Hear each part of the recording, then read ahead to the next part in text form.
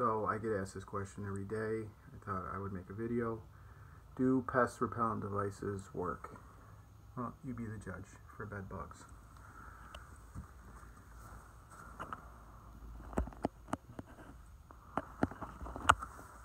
I have never seen them work.